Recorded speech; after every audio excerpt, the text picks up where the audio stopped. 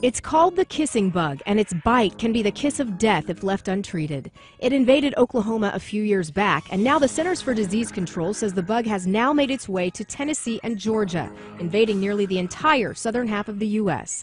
The bugs typically feed on the blood of mammals, including humans and pets, biting them in the lip area.